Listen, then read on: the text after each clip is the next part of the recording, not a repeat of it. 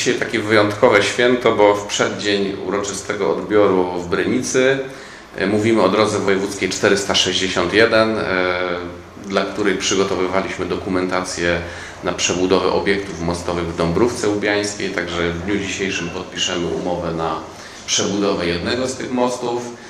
E, I e, rozliczenie tej inwestycji nastąpi w tym roku, e, gdyż otrzymaliśmy dofinansowanie z Ministerstwa Infrastruktury, z czego się bardzo cieszymy.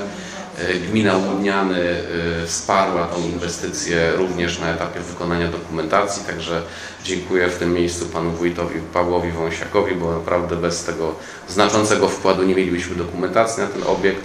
Także już dzisiaj ruszamy z przebudową. E, na nowym moście powstanie ścieżka pieszo-rowerowa o długości 3 metrów, e, ponieważ inwestycja obejmuje w tym pierwszym etapie wyłącznie most. E, kwota tej inwestycji opiewa na 6,5 miliona złotych i w tej kwocie 3 miliony złotych stanowi dotacja Ministerstwa Infrastruktury z subwencji ogólnej. Zadanie do rozliczenia w roku bieżącym. Prace budowlane będzie prowadziła firma Budbau.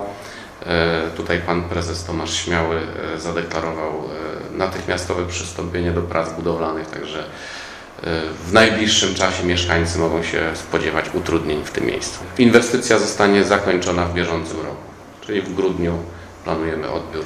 Powstanie kompletnie nowy obiekt o całkowicie nowej konstrukcji, z pełną nośnością, o zmienionych gabarytach, geometrii. Nieco wyprostujemy również ten przebieg taki y, trudny również dla kierowców.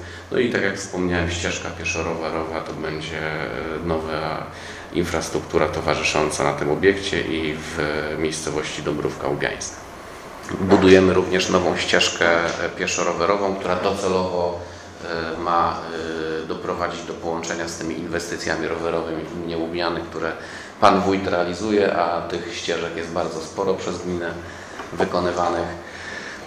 Także bardzo się cieszę z tego momentu i dziękuję przede wszystkim tutaj e, marszałkowi Szymonowi Owłazie również za wsparcie, za e, umieszczenie tego zadania w tegorocznym budżecie województwa opolskiego.